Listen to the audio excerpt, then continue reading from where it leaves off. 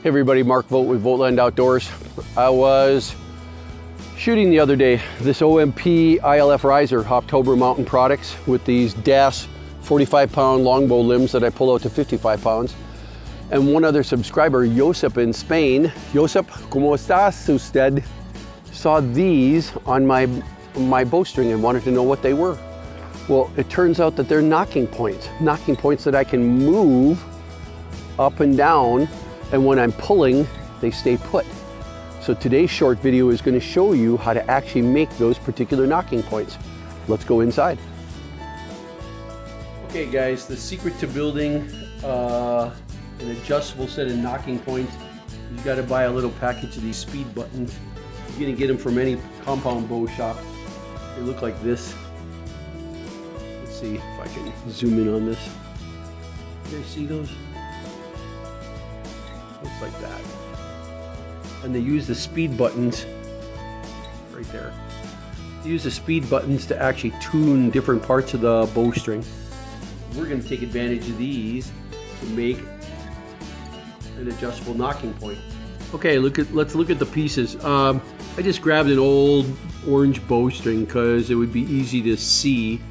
Uh, left over from one of my daughter's bows, and it doesn't have a a nocking point on it yet, so it actually is a good candidate.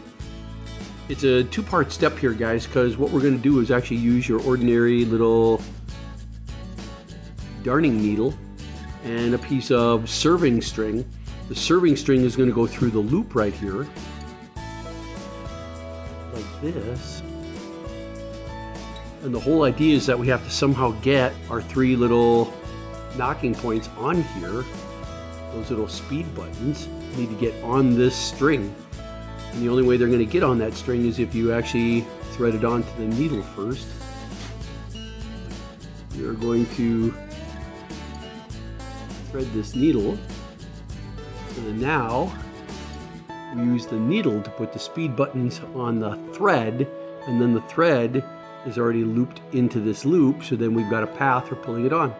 And you want to take your time doing this guys because you don't want to do anything that messes up. You don't want to mess up that hole. You want it nice and small and tight. The tighter it is, the longer it's actually going to last. So we're going to push one on. We're going to push two on. I've never tried using four, but I suppose you could. What I did try was using one, and it moved too much. I tried using two, and it improved a little bit, but it wasn't good enough. It still moved, and three was the magic number. That the third button on here tended to act like an anchor, keeping everything anchored and allowing a little bit of movement. So now we're going to pull these all onto the string, like this. And then we're going to start moving them down the string to the loop. And this is where we're going to start actually pushing them onto the loop. And once we're going to do that one at a time, just let it roll over if you need to, like that. See how easy that was? We're going to do the next one. We're going to do the next one. And then we're going to start pulling these down slowly. We don't want to have the wraps, the serving wraps, act like some kind of a rasp and rasp away the inside of the, the inside hole and make it bigger than it really is. So now we're going to just sit here and pull. And you'll see that when I'm pulling on all three, it actually is hard. It's when you pull one at a time that it goes easy. One at a time that it goes easy. One at a time that it goes easy. And if it rolls, that's fine. But the minute you start putting all three of them together and pulling, it's hard, so don't. The whole idea, we can go and take this off now. The needle goes off, the little piece of loop goes off. And if I want, I'm going to take all of this, put it back here, into a little kit. Ah, this becomes my kit. It goes right back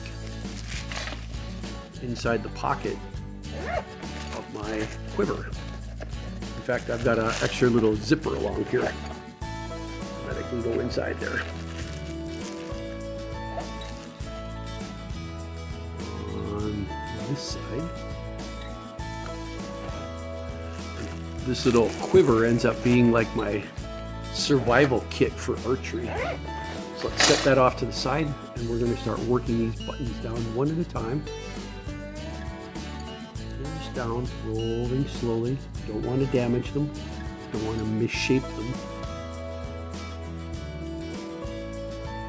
Here's the top of the servings now coming up. I get it on there, I'm gonna pull very slowly. I don't want the servings to act like a rasp and file material away. There's one. Now we're going to do the other two. I'm going to pull slowly. It's got beeswax on it. It's actually helping right now. When I get up to the beginning of the serving, I'm going to slowly push. And it's a little bit easier when there's two of them. It's very hard when there's three. There you have it. Now this whole loop will go on the bow, top and bottom, and then I would actually adjust this by pulling. What happens guys is this, you look up really close here, when the arrow pushes up against, let's grab one.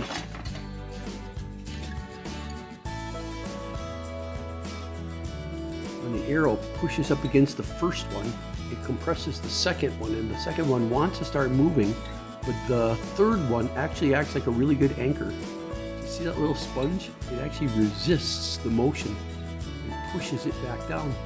And it happens over and over and over again. So if you don't push excessively hard, then you'll see that it actually just comes back down every single time.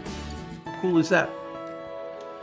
This was meant to be a really short video. Hope you guys enjoyed that. How to make uh, a simple adjustable nocking point from three speed buttons that you put on a compound bow. Total cost, oh, cheapers. I think I bought a bag of 50 of these knobs for five bucks. That means 50 divided by $5, they're penny a piece. So this cost me three cents. It's going to last, they typically last about a year. I do this once a season. Beginning of the season, I'll put a new nocking point on. Considering I shoot hundreds of arrows every single week, that's actually pretty long lived and totally adjustable all anytime you need it to be. Hope you guys enjoyed that. This is Mark Vogt with Vogtland Outdoors. Please feel free to subscribe to my channel. Watch some of the other videos I have on what you can do with that adjustable nocking point. How quickly you can go and find the sweet spot on your bow without twisting and damaging your servings by twisting other kinds of wraps, other kinds of nocking points up and down. Watch this video and we'll see you out there. Bye.